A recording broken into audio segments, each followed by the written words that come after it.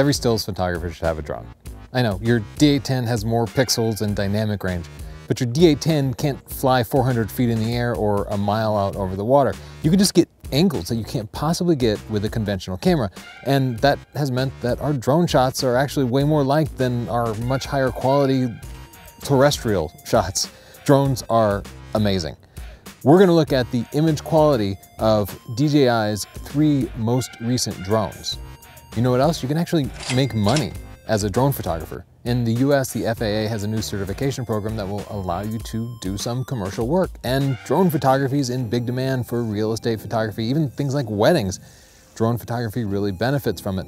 Subscribe to our channel to see our upcoming coverage on how to get that FAA certification as the three of us here in, in Connecticut pass those tests. First up, sharpness. Zoomed way in. The Phantom 4 Pro's 20 megapixel sensor shows cleaner images with noticeably more detail than the Mavic, even at ISO 100. The Phantom 4 Pro also beats the original Phantom 4 for sharpness, especially in the corners.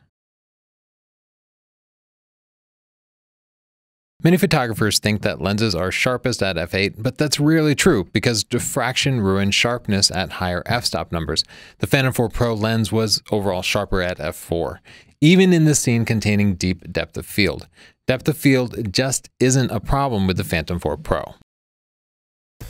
Flaring are those weird blobs that you see when you take pictures into the sun or with the sun at an angle, and it's really common since you're flying above the trees. The sun's in a lot of shots. So let's see how those three cameras compare. In another scene, comparing the Phantom to the Mavic 4 Pro, the Mavic shows disturbing amounts of flare, while the Phantom 4 Pro shows almost none. Note that the Phantom 4 Pro shut its lens down from f2.8 to f4, which serves to reduce the flaring, but you as the photographer can control that aperture and thus control the flaring. The Mavic is always shooting wide open at f2.2 because the aperture seems to be fixed. The same applies for the original Phantom 4 when shooting into the sun. Distinct, unpleasant blobs of flaring and lots of red.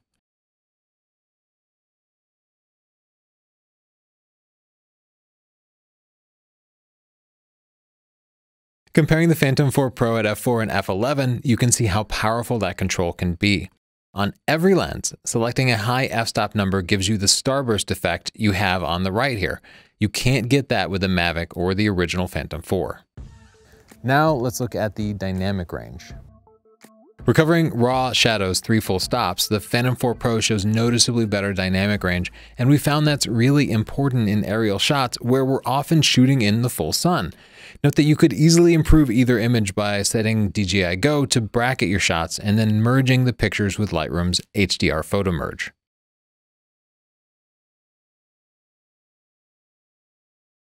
Though the cameras didn't precisely match exposures, recovered shadows from the Phantom 4 Pro overall looked better than the original Phantom 4 too.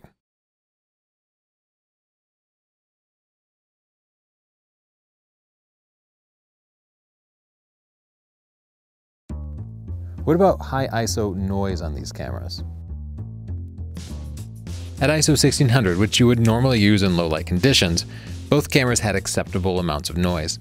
The Mavic showed more color noise, and the Phantom 4 Pro overall looked a bit better, but the two cameras are close.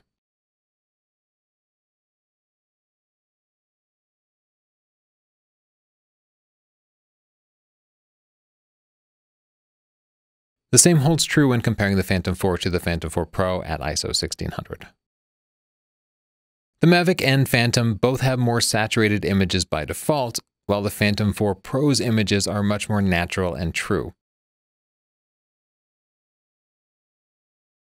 If you're shooting RAW and you know how to use an image editor, that doesn't make much difference. It's easy to change the color in post.